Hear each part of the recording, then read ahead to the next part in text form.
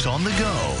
Ooh, traffic alerts on the thruway this morning. Let's take a look at the first one first. And the left lane of the westbound thruway between the Verona and Canastota exits is blocked after a crash that happened around 540. 911 dispatchers say at least one tractor trailer was involved. A look at the, some of the backup there. So slow going westbound between Verona and Canastota on the thruway. Another crash westbound near Liverpool has closed the right lane there.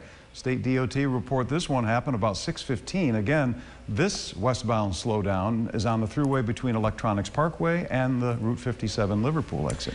We are still waiting on test results from the city of Syracuse after potentially harmful algal blooms were spotted on Skaneateles Lake, which supplies water for the city. The DOC says no blooms were ever seen near the city drinking water intake pipes.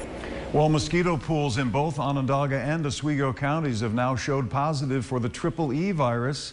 The pools in question are around the Cicero Swamp and Toad Harbor areas. Onondaga County plans to aerial spray as early as next week in Cicero. Well, Western New York Congressman Chris Collins not backing down after he was arrested for insider trading. The 27th District Congressman vowing to remain on the ballot for re-election this November. Prosecutors say that he used his position on the board of a biotech company to tip off his son to sell stock before its value dropped sharply. Collins says that he will mount a vigorous defense to clear his name.